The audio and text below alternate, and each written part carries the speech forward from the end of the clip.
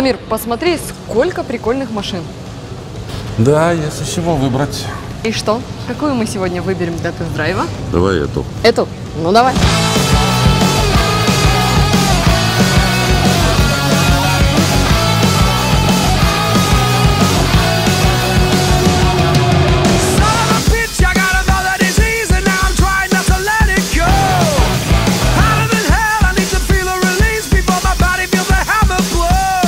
Пришла моя очередь порулить, так что поехали.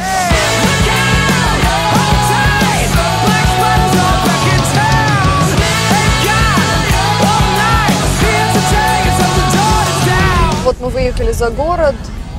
По городу я прокатилась немного, но мне понравилось, очень удобно, видно далеко. Что хочу сказать, что я заметила, да, у нее сейчас вот новая система встроена Bluetooth.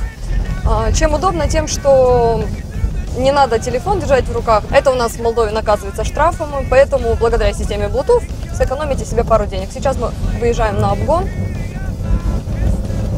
Очень хорошо машина идет в гор, никаких проблем, то есть легко, непринужденно. Шумоизоляция хорошая мотора, даже если он дизель, сказать, что его слышно, ну так, чуть-чуть. Зато приятно, слышишь мотор. Понимаешь, заведена машина или нет.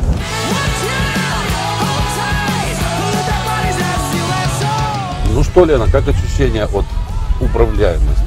Ты знаешь, Самир, мне нравится. Она очень послушная, да, и вот такие огромные габариты, ведь вы все знаете, что Volvo XC90 это полноценный семиместный автомобиль. А, Но машина слушается. Яма она проходит очень плавно, их практически не чувствуешь, и это все благодаря подвеске. Плюс еще на ней можно не бояться бордюров, потому что очень высокий клиренс. Кстати, Самир, а вот ты, наверное, первый раз в жизни сидишь сзади. Как тебе там? Много сидел сзади на, на заднем сиденье, но именно вот здесь впечатление неплохое, потому что в таком типе машины, как мы едем, у нее обычно центр тяжести всегда высокий, и задние пассажиры более страдают, чем передние. Болтаются всегда больше болтают, да. Но здесь вроде пока еще головой не достал ни до крыши, ничего. Так что вполне приятное, комфортное передвижение. Мы приехали, и теперь, Самир, твоя очередь попробовать эту машину. В более экстремальных условиях, да? Ну да. Ну давай. Ну что, пока Самир расставляет конусы, я расскажу чуть-чуть об интерьере данного автомобиля. Э, Вот пока я ехала, заметила, что диаметр руля очень удобный для вождения, плюс еще он изготовлен из натурального дерева и из ореха. Посадка очень удобная. Автомобиль, который мы вот сейчас взяли для тест-драйва, оснащен кожаным салоном, но прошу заметить, что цена не отличается. То есть, приобретая такой автомобиль, вы можете решить, вы хотите кожаный салон или обивка из ткани. То есть в цене нету разницы. Опять же, автомобиль оснащен электроприводом передних сидений с памятью. О торпеде могу сказать, что она выполнена из очень качественных материалов. Кнопки очень большие, что радует. Попасть по ним очень удобно. И даже если ты новичок, ну, примерно за 5 минут ты поймешь, что, где находится, потому что очень все внятно и правильно нарисовано. А также в комплектацию данного автомобиля входит раздельный климат-контроль, сигнализация Volvo Guard, круиз-контроль, подогрев передних сидений, сенсор дождя, аудиосистема Premium Sound 12 колонок, задний парктроник и активные биксеноновые фары.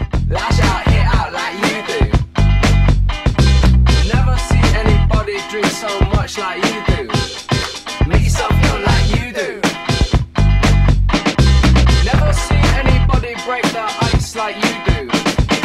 Спешу обрадовать тех, у кого есть маленькие детки, что автомобиль оснащен встроенным детским сиденьем, то есть его не надо покупать. Плюс ко всему э, подлокотник снимается и сиденье отодвигается вперед, и вот очень удобно смотреть за своим ребенком.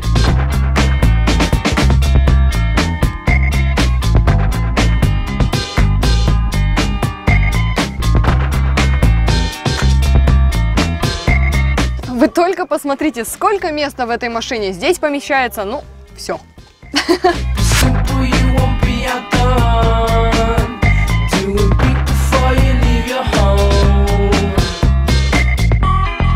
Пришло время для первого тест-драйва «Змейка».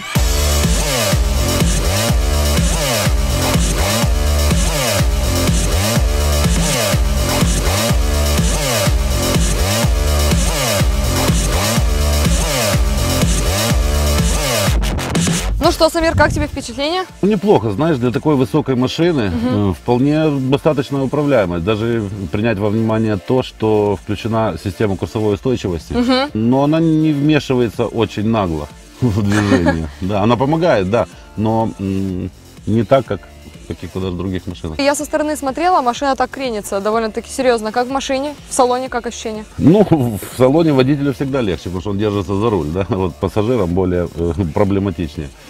Но э, кренится, потому что высокие хода подвески, это Ну да. все-таки кроссовер, он немножко не для Таких да, приключений. Да, но вполне, вполне нормально, вполне нормально. Да, и следующее, что мы попробуем? Лосиный тест попробуем. О, давай посмотрим, как Да, она. или переставка он называется. Ну давай посмотрим. Не, лосиный тест звучит прикольнее.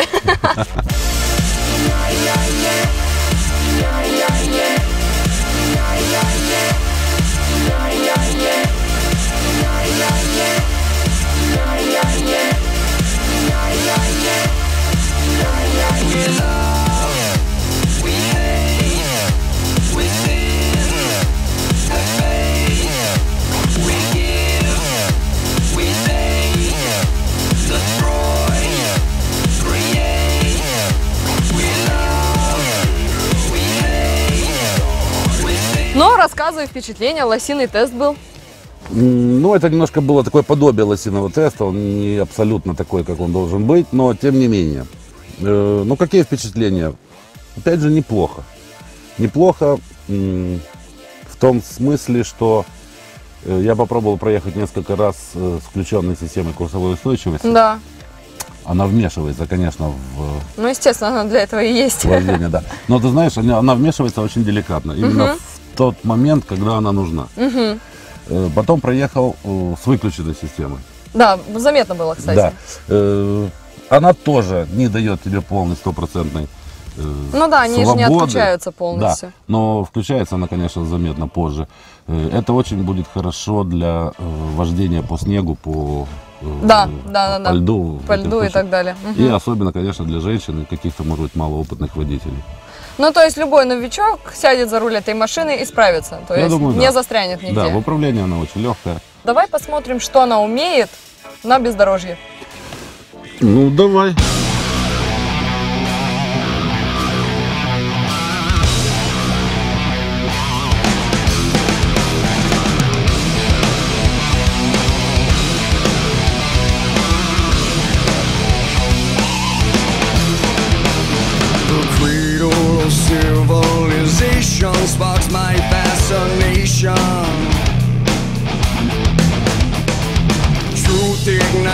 Generation to change what's been programmed inside the mind.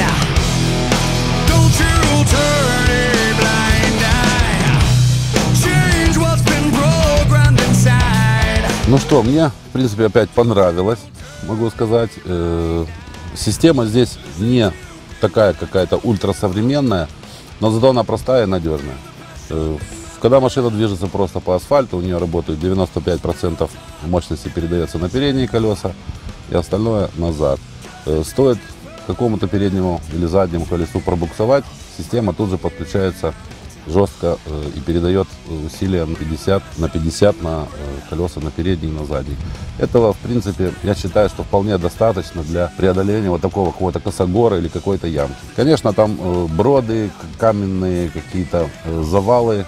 Эта машина, может быть, и проедет, но с трудом. Но то, что мы сейчас попробовали, это, мне кажется, вполне достаточно. Это я наглядно показывает, что э, эта машина все-таки и внедорожная тоже. Мы не только провели тест-драйв по бездорожью, но еще и посмотрели, как справится автомобиль с диагональным вывешиванием. И что могу сказать, он справился просто замечательно с поставленной задачей.